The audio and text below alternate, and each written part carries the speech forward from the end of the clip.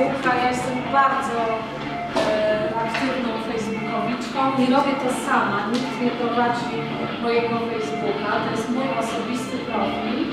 E, no i grupa z Facebooka, grupa rowerowa zapytała mnie, czy wybiorę się z nimi na wycieczkę.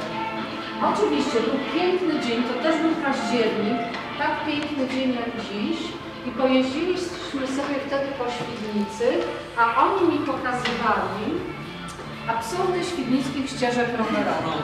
No to wyglądało tak, że mieliśmy kilometr ścieżki koniec, kilometr ścieżki koniec, dwa kilometry trawa, kilometr znowu przerwa, zero przejazdów.